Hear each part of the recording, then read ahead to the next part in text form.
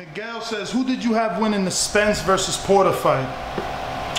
You know, I had I had Porter the first half of the fight. Uh, I just thought Spence wasn't throwing enough punches. I thought he was fighting more of Porter's fight, and I did think that round one was a pick'em.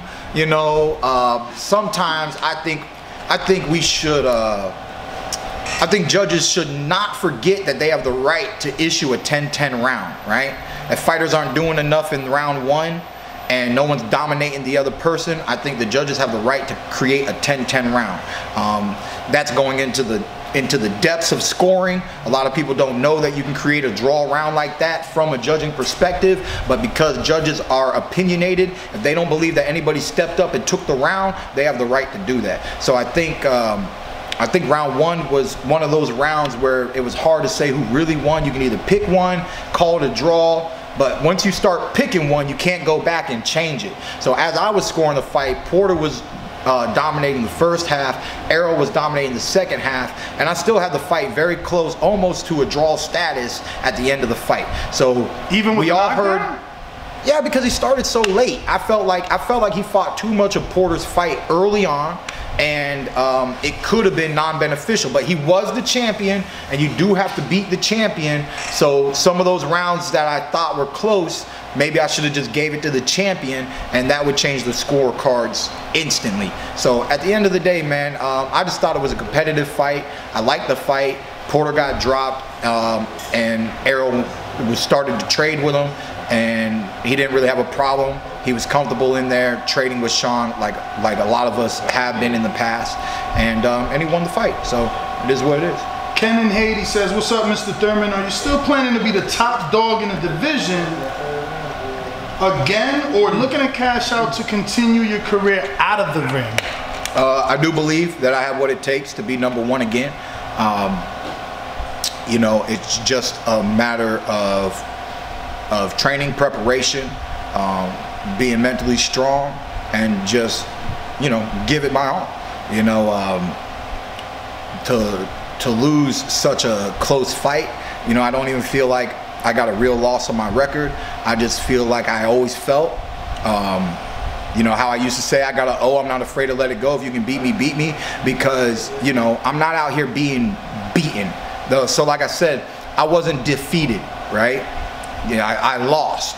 I wasn't defeated no one's defeated me. Um, they didn't take the the fire, the hunger, or make me feel inferior to the competition of today's generation. So with that statement, you should understand how I feel and that I believe that I can be the number one welterweight in the welterweight division today. Ruin the 504 New Orleans says, any word when you're getting back in the ring? You said you'll be getting a call this week. This week, I mean, I'm trying to get back ASAP. Whenever, whenever ASAP Rocky whenever they're ready, I'll be ready. I'm here. Jordan Baker here in Florida says, what's a couple of things you felt Danny Garcia did wrong in the fight versus Earl? He didn't throw punches. So, I mean, you watch the 12th round and you watch the best flurry that he's thrown in the whole fight in the last 10 seconds. Um, they both were loading up. I could clearly see that. I don't know how many people could really see watching the fight that both fighters were clearly loading up. Um, so you saw me load up today in sparring, and when people load up on each other, it makes both people hesitant and, and tentative, you know. But Errol, he knew Danny was loading up, and he was like, "Well, I'm gonna show you how I load up, and I'm gonna swing at you the way you swinging at me." And they were both missing those knockout punches on one another. That's what happened when I fought Danny. Uh, I noticed that after he realized I had a good pop and I could catch him off guard, he tightened his guard up, he tightened his defense up, and he didn't want to get hit hard. He didn't want to get dropped in front of everybody.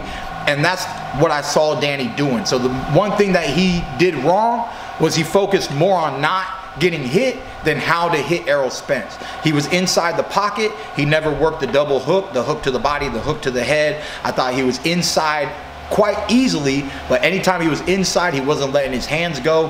His daddy was yelling at him at the end of every round, trying to get him to throw more punches, throw more punches. And I think deep down, he was just worried about being countered. I think he could see Errol's power. Um, he probably felt a little bit on the arms, and it just made him not want to be open to take a big shot. But at the same time, he never let his punches go. And I mean, I think that's his number one mistake in a lot of the fights uh, that he's had. He's just got to up his punch count. He's got good timing, but when you're not timing stuff in between, you got to have a little bit of a storyline. Where's the storyline, Danny? Where's the output to say I'm doing something this round besides trying to land counter punches? So that that's the only downside I see in um, the way Danny fought Errol.